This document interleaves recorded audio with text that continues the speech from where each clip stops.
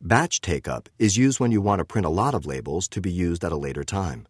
Using batch take-up or rewind prevents the labels from exiting the printer through the front door, winding them on the take-up hub instead.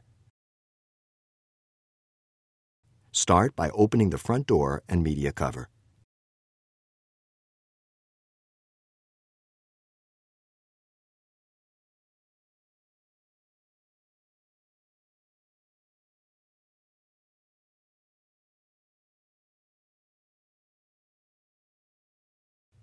Turn the printhead lift lever counter or anti-clockwise to raise the printhead.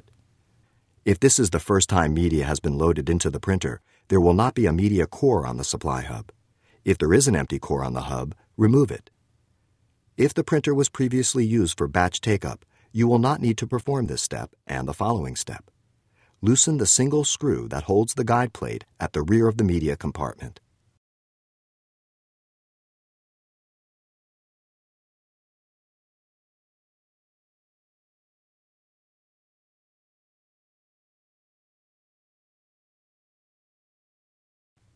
Remove the tear bar from the print unit and replace it with the guide plate. When done, you may want to attach the tear bar at the rear of the printer so that it isn't lost.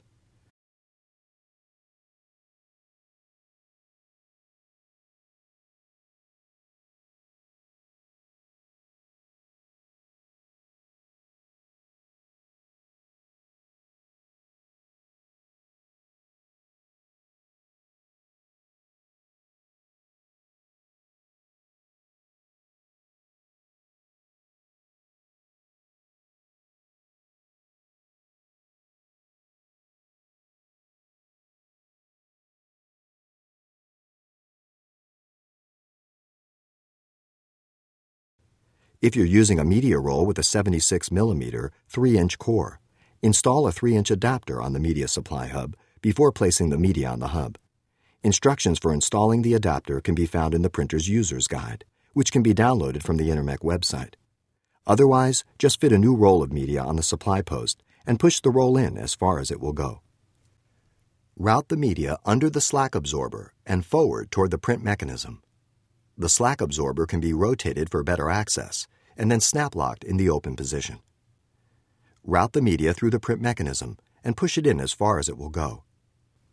Pull out approximately 40 centimeters, 15 inches of labels.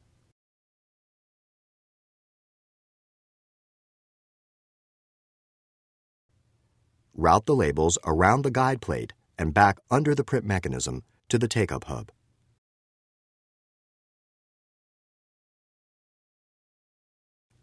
Wind up some of the media on the take-up hub and secure it with the green clip.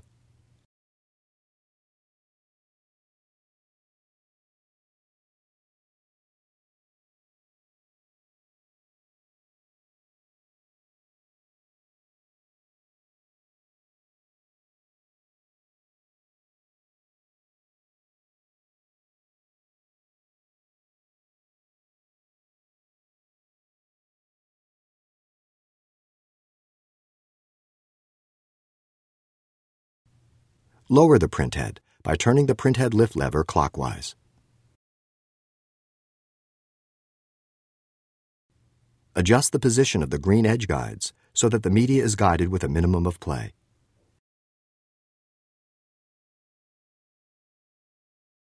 Close the media cover.